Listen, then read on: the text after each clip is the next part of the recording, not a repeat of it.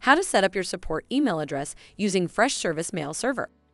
In this video, we will show you how to set up your support email address using Freshservice as the default mail server. There are three steps involved in this setup. Configuring your support email address, adding a forwarding address to your mailbox, verifying your support email address. Let's get started on the steps to configure the support email address. Navigate to Admin. Under the General Settings tab, select Support Channels and click on Email.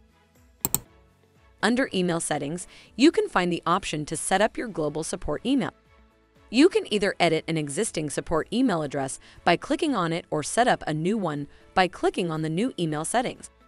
Now, let us see how to configure a new support email address. Click on the New Email Settings button. Under this section, you can add your company name that your end users see when they receive an email from you. Under your Help Desk email field, you can add your support email. This would be the email your customers send emails to.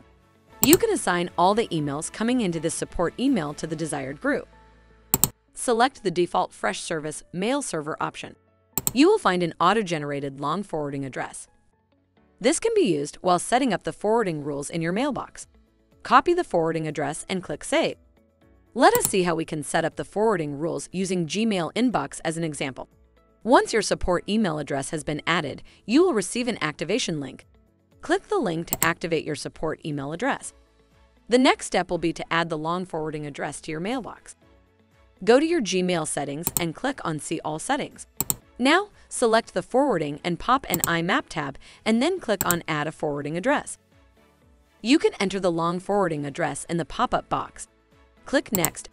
You have now added the long forwarding address to your support mailbox. The final step in setting up your support email address is to verify it. Here is how you can do it.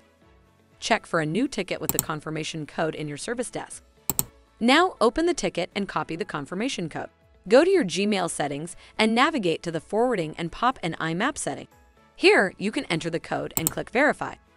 You have now finished configuring your support email address and are all set to receive tickets to your service desk. If you have configured multiple support email addresses, you can select the primary support email from the available list by clicking on the star icon. And that's how you set up your support email address using Freshservice Mail Server.